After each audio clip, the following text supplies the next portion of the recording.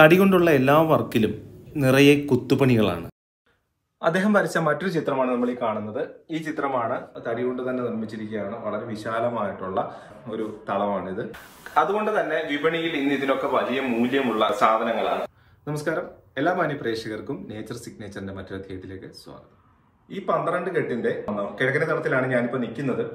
അതായത് നടുമുറ്റത്തിനോട് ചേർന്നുള്ള ഭാഗം ചുവർ ചിത്രങ്ങൾ കൊണ്ട് അലങ്കരിച്ചിട്ടുണ്ട്. ഉടൻ സ്ട്രക്ചർ ആണ്. ഇപ്പൊ നമ്മളിവിടെ നടുമുറ്റത്തേക്കുള്ള ഒരു വഴിയാണ്. നല്ല വിശാലമായ നടുമുറ്റം. ഇവിടെ മൂന്ന് നടുമുറ്റം നാല് ഇന്റു മൂന്ന്. ഇതിൽ പന്ത്രണ്ട് കെട്ടാണല്ലോ. അപ്പൊ മൂന്ന് നടുമുറ്റം വരും. ഇത് ഇവിടുത്തെ ഏറ്റവും വലിയ നടുമുറ്റമാണിത്. ശരിക്കും പറഞ്ഞാൽ നമ്മളൊക്കെ ഇപ്പം ട്രഡീഷണൽ ആയിട്ടൊക്കെ വീടൊക്കെ വെക്കുമ്പോൾ ഇഷ്ടം അല്ലെങ്കിൽ അത് ചെയ്യണമെന്ന് നടുമുറ്റം വേണം. മസ്റ്റാണ് നടുമുറ്റത്തിന്റെ കാര്യത്തിൽ കോംപ്രമൈസ് ഇല്ല. ഏറ്റവും എയർ സർക്കുലേഷൻ പ്രാണവായുവിന്റെ ശരിയായിട്ടുള്ള ഒരു വിനിയോഗം നടക്കുന്ന സ്ഥലമാണിത്. അതായത് നമ്മുടെ ഓക്സിജൻ പാർലർ എന്ന് വേണമെങ്കിൽ പറയാം. നമ്മുടെ എല്ലാ വീടിന്റെ എല്ലാ ഭാഗങ്ങളിലേക്കും ഇതുപോലെ വായുവിനെ ശുദ്ധവായുവിനെ എത്തിക്കുന്ന കാറ്റിനെ എത്തിക്കുന്ന ഒരു ഇടമാണ് ഈ നടുമുറ്റം. ഒരു വീടിന്റെ ഏറ്റവും പ്രധാന ഭാഗമാണ് ബ്രഹ്മസ്ഥാനത്തുള്ള നടുമുറ്റം. ചിത്രം എടുത്തു തമ്പുരാനായിരുന്ന രാജാ രവിവർമ്മയുടെ ശിഷ്യരിൽ ഒരാൾ. വെറും ശിഷ്യനല്ല പ്രധാനപ്പെട്ട ശിഷ്യന്മാരിൽ ഒരാൾ പ്രിയപ്പെട്ട ശിഷ്യനായിരുന്നു മുകുന്ദൻ തമ്പി മുകുന്ദൻ തമ്പി എന്ന ചിത്രകാരൻ വരച്ച ഒരു ചിത്രമാണ്. ചിത്രം കാണുമ്പോൾ തന്നെ ആ ഒരു പഴമ മനസ്സിലാവും. അദ്ദേഹം വരച്ച മറ്റൊരു ചിത്രമാണ് നമ്മൾ ഈ കാണുന്നത്. ഈ ചിത്രമാണ് ഇവിടുത്തെ മഹാവിഷ്ണു ക്ഷേത്രത്തിലെ ഭഗവാന്റെ അതേ രൂപം തന്നെയാണ് വരച്ചിരിക്കുന്നത്.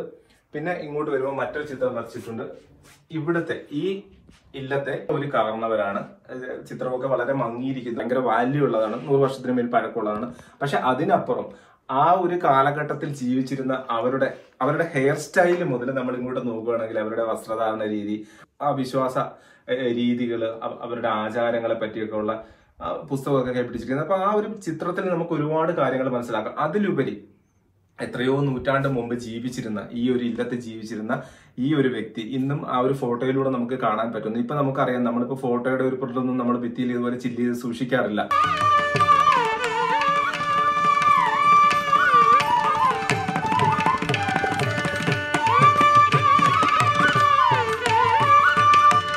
ഇവിടെ രണ്ട് ഓയിൽ പെയിന്റിങ്ങുകളൂടെ ഉണ്ട്. അതിലെ ഒന്ന് ഇതാണ്. വളരെ വലിയൊരു ഫ്രെയിമിലാണ് അത് കൊടുത്തിരിക്കുന്നത്. ശരിക്കും പറഞ്ഞാൽ ഓയിൽ പെയിന്റിംഗ് ആണെന്ന് പോലും ഇപ്പോഴത്തെ നമ്മുടെ ഒരു പ്രിന്റ് ഔട്ട് എടുത്താൽ പോലും ഇത്രയും ക്ലാരിറ്റി ആയിട്ട് ഓരോ ഡീറ്റെയിലിങ്ങും അറിയാൻ സാധിക്കില്ല. അത്രയും ഗംഭീരമായിട്ടാണ് ആ ഒരു വരച്ചിരിക്കുന്നത്. പഴയ തറവാടുകളിലെ ഫർണിച്ചറുകൾ നമുക്ക് എപ്പോഴും പ്രിയപ്പെട്ടതാണ്.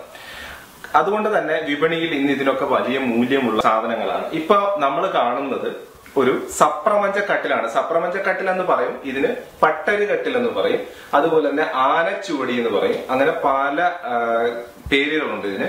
സപ്രമഞ്ചക്കട്ടിൽ എന്ന് പറയുമ്പോൾ വേറെ ടൈപ്പ് സപ്രമഞ്ചക്കട്ടിലുണ്ട് ഇത് സാധാരണ നമ്മൾ കാണുന്നതിലും വളരെ വലിപ്പമുള്ള ഒരു കട്ടിലാണിത്. അതുപോലെ തന്നെ വലിയ കേടുപാടുകളൊന്നുമില്ല. ഇപ്പൊ ഇത്രയും വർഷമായിട്ടും ഇത് അതിന്റെ അതിൽ ചെയ്തിരിക്കുന്ന പുരാതനമായിട്ടുള്ള ചായമാണ്. അന്നത്തെ അന്നത്തെ ചായമാണ്. പ്രകൃതിജന്യ വസ്തുക്കൾ കൊണ്ടുള്ള ചായമാണ്. അപ്പൊ ആ ചായങ്ങൾക്കൊന്നും ഒരു മങ്ങലില്ല. ഇപ്പോഴും തുടച്ചു കഴിഞ്ഞാൽ അത് പുതിയതുപോലെ തന്നെ ഇരിക്കും. അപ്പൊ ഈ കട്ടിലിന്റെ വിശേഷങ്ങളൊന്ന് നമുക്ക് കാണാം. സപ്രമഞ്ച കട്ടിൽ എന്ന് നമ്മളെല്ലാവരും കേട്ടിട്ടുണ്ടായിരിക്കും. എന്നാൽ പട്ടരുകട്ടിൽ എന്ന പേര് പലർക്കും പലരും കേട്ടിട്ടുണ്ടാവില്ല. എന്നാൽ ഇത് പട്ടരുകട്ടിലാണ് സപ്രമഞ്ചക്കട്ടിൽ എന്നും പറയാറുണ്ട്. ആനച്ചൂടി എന്ന് പറയാറുണ്ട്. അപ്പോൾ അത്തരത്തിൽ ഒരു കാലഘട്ടത്തിൽ ഒരു വിഭാഗത്തിന്റെ സ്റ്റാറ്റസ് സൂചിപ്പിക്കുന്ന ഒരു കട്ടിൽ കൂടെയായിരുന്നു ഇത്. എല്ലാവർക്കും ഇത് ഉപയോഗിക്കാനുള്ള പെർമിഷൻ ഉണ്ടായിരുന്നില്ല. അതുപോലെ തന്നെ സാധാരണ കട്ടിലുകളുടെ ഇരട്ടി ഉയരമാണ് ഇതിനുള്ളത്. അതിന്റെ ബെഡും കാലും തമ്മിലുള്ള അല്ലെങ്കിൽ തറനിരപ്പുമായിട്ടുള്ള ഉയരമാണുള്ളത്. പൊതുവെ പഴയകാല തടികളിൽ ഒന്നിലും തന്നെ നമ്മൾ നിറം പിടിപ്പിച്ച് കാണാറില്ല. അത് തടിയുടെ തന്നെ സ്വാഭാവിക നിറങ്ങളിൽ അന്ന് പ്രകൃതിദത്ത പോളിഷാണ് ചെയ്യുന്നത്. എന്നാൽ ഇതിന്റെ ഒരു പ്രത്യേകത ഇതിന് ഒരു കാവി നിറം കലർന്ന അല്ലെങ്കിൽ അതിൽ ഡിസൈൻസും ഒക്കെ കൊടുത്ത് വരച്ചിരിക്കുന്ന ഒരു കളറുണ്ട് കളർ പാറ്റേൺ ഉണ്ട് അതിന്. അപ്പം അതിന്റെ ആ- ഒരു കളർ തന്നെ കോലരക്ക് അന്നത്തെ കാലത്ത് കോലരക്ക് ഈ തടി കടയുമ്പോൾ തന്നെ ഈ കോലരക്കിന്റെ കളർ കൂടെ ചേർത്തിട്ടാണ് ഈ തടിയിൽ നിറം പിടിപ്പിച്ചെടുക്കുന്ന ഒരു സിസ്റ്റമായിരുന്നു അന്ന് ഉപയോഗിച്ചിരുന്നത്. ആ നിറങ്ങളാണ് നമ്മളിവിടെ കാണുന്നത്. ഇപ്പോൾ ഇതിന്റെ സൈഡിലെ തട്ട് തട്ടുകളിൽ നമുക്ക് കാണാം. ഏതാണ്ട് അഞ്ചോളം തട്ടുകളുണ്ട്. ആ തട്ടുകൾ നിറയെ കടച്ചിൽ കാലുകൾ കൊണ്ട് അലങ്കരിച്ചിരിക്കുന്നു. അവയെല്ലാം ഈ നേരത്തെ പറഞ്ഞ കളറുകൾ ഉപയോഗിച്ചിട്ടുണ്ട്. പിന്നെ ഇതിന്റെ ഒരു മേൽത്തട്ടിയും കൂടെ ഉണ്ട്. ആ അത് മാത്രം ഇവിടെ കാണാനില്ല. ബാക്കി ഈ കട്ടിലിന്റെ പൂർണമായ ഭാഗങ്ങൾ മുഴുവനായിട്ടുണ്ട്. പിന്നെ ഇതിന്റെ നമ്മൾ ബെഡ് കിടക്കുന്ന ഭാഗം എന്ന് പറഞ്ഞാൽ അത് ഒരു കാഞ്ഞിരം അല്ലെങ്കിൽ ഔഷധ വൃക്ഷങ്ങൾ കൊണ്ടാണ് സാധാരണയായിട്ട് ഉണ്ടാക്കാറുള്ളതെന്ന് കേട്ടിട്ടുണ്ട്. ഇവിടെ കാഞ്ഞിരത്തിന്റെയോ മറ്റോ തടിയാണ് ഇവിടെ ഉപയോഗിച്ചിരിക്കുന്നത്. പിന്നെ നമ്മൾ നോക്കുകയാണെങ്കിൽ ഇതിന്റെ ഏറ്റവും പ്രധാനപ്പെട്ട പ്രത്യേകത ഇപ്പോൾ ഫോർട്ട് കൊച്ചിയിലും മറ്റുമൊക്കെ അല്ലെങ്കിൽ പുരാവസ്തുക്കളൊക്കെ വിൽക്കുന്ന കടകളിലൊക്കെ നമുക്ക് ഇത്തരത്തിലുള്ള കട്ടിലുകൾ കാണാം. ചില പഴയ ഭവനങ്ങളിലും കാണാം. അപ്പോൾ ഫോർട്ട് കൊച്ചിയിൽ ഇതിന്റെ ഒരു വില ചോദിച്ചപ്പോൾ ഇതിന്റെ ചെറിയൊരു സൈസിന്റെ വില നമ്മൾ ഒരിക്കലും ചോദിച്ചപ്പോൾ അഞ്ചര ലക്ഷം രൂപയാണ് അവർ പറഞ്ഞത്. അതായത് ഇതിന്റെ ഒരു ടോപ്പ് ടോപ്പും കൂടെ ഉണ്ടായിരുന്നു. അപ്പം കുറേ വർഷങ്ങൾക്ക് മുമ്പ് അതിന്റെ വില കേട്ട് ഞങ്ങൾ ഞെട്ടിപ്പോയി. അപ്പം അവിടെ നിന്ന് ഒരാൾ ചോദിക്കുന്നുണ്ടായിരുന്നു എന്താണ് ഈ പഴയ കെട്ടലിനൊക്കെ ഇത്ര വിലയെന്ന്? അപ്പോൾ അവരത് പറഞ്ഞു ഇത് ആന്റിക്കാണ്. ഒന്നാമത്തെ കാര്യം. രണ്ടാമത് ഇതിന്റെ ഔഷധ തടി കൊണ്ടാണ് ഇതിന്റെ ബെഡ് നിർമ്മിച്ചിരിക്കുന്നത്. പിന്നെ ഈ നിറങ്ങൾ ഈ നിറങ്ങൾക്ക് വളരെ പ്രാധാന്യമുണ്ട്. ഫോർട്ട് കൊച്ചിയിൽ കണ്ട അവിടുത്തെ കട്ടിലിനേക്കാളും എത്രയോ വലിയ സൈസാണ് മാത്രമല്ല ഇതിൽ നമുക്ക് ചവിട്ടി കയറാൻ വേണ്ടി ഒരു സ്റ്റാൻഡ് ഉണ്ട്. അത് അഡ്ജസ്റ്റബിൾ ആണ്. അകത്തോട്ട് നീക്കാം. ഇരുമ്പ് കൊണ്ടാണ് അത് നിർമ്മിച്ചിരിക്കുന്നത്. ഈ പന്ത്രണ്ട് കെട്ടിന്റെ പടി ഇറങ്ങുമ്പോൾ ഒരുപാട് ഒരുപാട് നല്ല ഓർമ്മകളാണ് അവശേഷിക്കുന്നത്. ഒരു കാലഘട്ടത്തിൽ ചരിത്രത്തിന്റെ ഭാഗമായിരുന്ന മാർത്താണ്ഡപുറമെ എന്ന മഹാരഥന്റെ കാലടികൾ പതിഞ്ഞ ആന്റിക് ഷോപ്പുകളിൽ മാത്രം നമ്മൾ കണ്ടിട്ടുള്ള വിലമതിക്കാനാവാത്ത പുരാവസ്തുക്കളുള്ള കഥകൾ ഉറങ്ങുന്ന ഈ പന്ത്രണ്ട് കെട്ടിന്റെ ഇടനാഴികളിലൂടെ മുടപ്പിലാപ്പിള്ളി മനയുടെ ഇടനാഴികളിലൂടെയൊക്കെ നടക്കുമ്പോൾ ഈ വിശാലതയിൽ ഇന്നത്തെ പുതിയ തലമുറയുടെ ഹൃദയവും അതിലും വിശാലമായിരുന്നു. നമ്മളൊക്കെ അകത്ത് കയറ്റുമോ എന്നുള്ള സംശയത്തിലാണ് ചെന്നത്. ഓരോ കാര്യങ്ങളും പറഞ്ഞു തരികയും ദൃശ്യങ്ങൾ പകർത്താൻ അനുവദിക്കുകയും ചെയ്ത ആ വലിയ മനസ്സിന് വലിയ വലിയ നന്ദി. പലപ്പോഴും വീഡിയോയ്ക്ക് താഴെ വരുന്ന കമന്റുകളിൽ ഇത്തരത്തിലുള്ള പഴയ തറവാടുകളുടെ എന്തിനാണ് ഇത്രയും വലിയ പന്ത്രണ്ട് കെട്ടും നാല് കെട്ടും എട്ട് കെട്ടും ഒക്കെ പണിയുന്നത്?